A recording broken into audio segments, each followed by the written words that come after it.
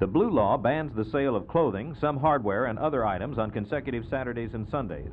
The Tarrant County District Attorney's Office last month filed suit against Kmart, charging the company with violating the Sunday closing law. Kmart agreed to an injunction which prohibits its stores from being open on both Saturday and Sunday until the matter is settled by the court.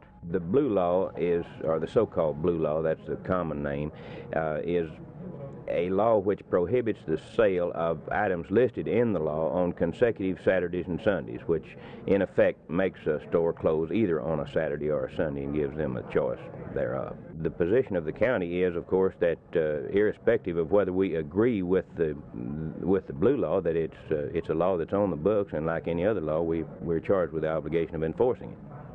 Lipscomb acknowledges that hundreds of stores violate the state's blue law. But he says the DA just doesn't have the staff to prosecute them all. Mike Miller, Channel 8 News, Fort Worth.